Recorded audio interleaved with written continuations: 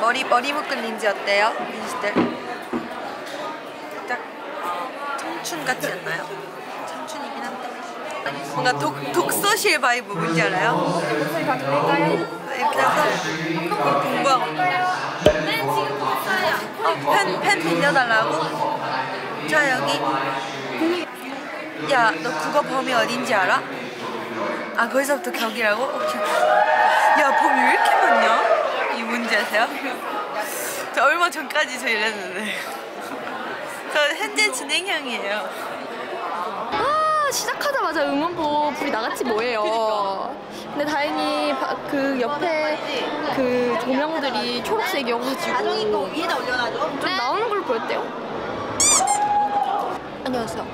어, 어, 어 방금 방금 팬분한테 선물을 받았어요. 어 진짜 잘. 똑같이 생겼죠, 저랑.